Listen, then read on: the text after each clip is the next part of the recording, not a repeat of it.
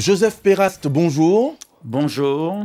Alors, vous êtes le maire sortant du Marigot. Vous avez raté de peu l'élection au premier tour le 15 mars dernier. La liste que vous menez ensemble pour un Marigot fort et solidaire a obtenu 49,47% des suffrages exprimés, soit environ 848 voix. Euh, vous analysez comment, Joseph Perras, vous analysez comment ce premier tour? Eh bien, en plaçant cette élection dans son contexte, hein, puisque vous n'êtes pas sans savoir que deux jours avant, le problème du coronavirus s'est posé. Donc, euh, nous l'avons vu, nous l'avons constaté le jour de l'élection. Beaucoup de gens sont venus avec leurs masques, avec leurs gants, avec leurs bics.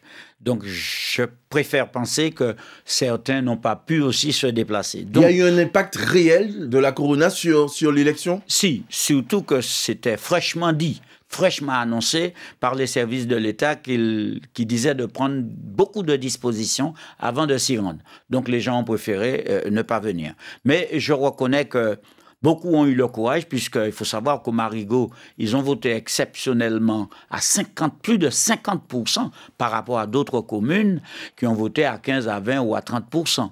Et sur 50% de, suffrages exprimés, bien, je suis arrivé à 49,47%, ce qui pour moi, c'est quelque chose quand même d'extraordinaire. Et je remercie la population. Vous ratez l'élection à 9 voix, l'élection au premier tour à 9 voix. Il vous a manqué quoi? Vous n'avez pas été chercher les gens assez?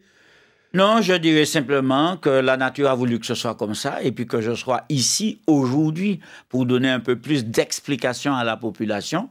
Donc je remercie Dieu, je remercie la nature d'avoir provoqué les choses puisque nous sommes restés un petit peu plus longtemps dans les élections que d'autres villes.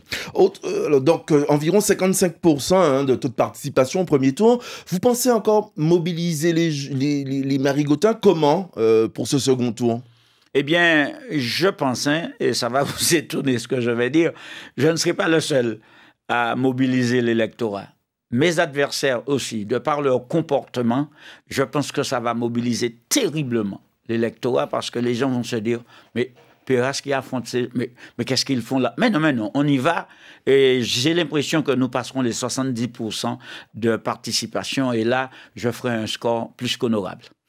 Quel sera votre euh, projet phare euh, si vous, êtes réélu? Alors, soit un projet phare que vous allez relancer ou bien un projet phare que vous allez euh, continuer. Alors, il y a plusieurs projets phares, puisque je l'ai dit au cours de la campagne du premier tour, la ville du Marigot a entamé un certain nombre déjà de dossiers, tels que la construction d'une structure d'accueil pour personnes âgées, la réalisation d'un plateau sportif au lotissement euh, euh, Fond d'Or pour la jeunesse de ce quartier, le stade qui a fait beaucoup de bruit, j'ai commencé les travaux, mais le projet, je compte, je pense, d'ici fin 2020, début 2021, va démarrer, puisque le projet a déjà été confié à Cap Nord, donc je suis en attente des, des avancées de Cap Nord. Nous avons l'école de baignoire à reconstruire. Nous avons aussi d'autres projets qui ont été déjà présentés à la population, mais je vous ai donné les quelques priorités. Sur les finances de la ville, euh, il y avait une tentative de, de vous rappeler à l'ordre par le préfet, je crois, qui a été...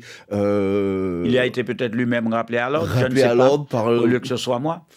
Pourquoi ce n'était pas justifié? Je ne peux pas dire que ce soit justifié ou pas justifié. Quand monsieur le préfet?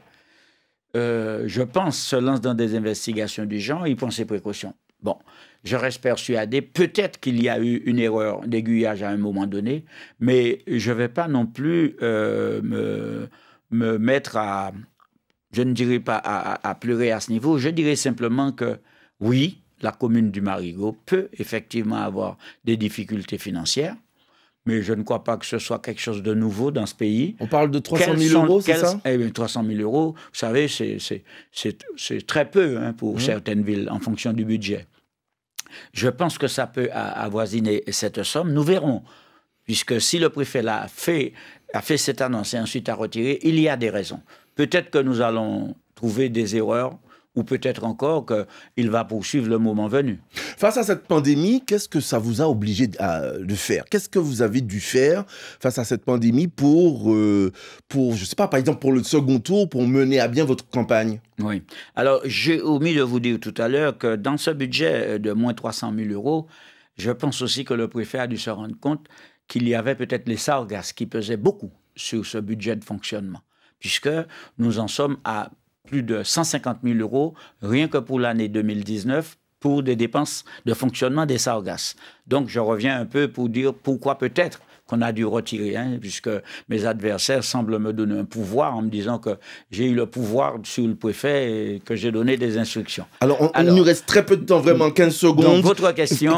C'était dans cette pandémie-là, qu'est-ce qui vous, comment vous vous organisez pour ce second tour? Dernière, c'est vraiment la dernière question. Tout à fait. Alors, il faut savoir que euh, euh, pour cette pandémie, la ville du Marigot a été la première et l'unique à mettre à la disposition euh, de, la population du, du, Marigot un dispositif d'accompagnement communal Covid-19 de la Martinique.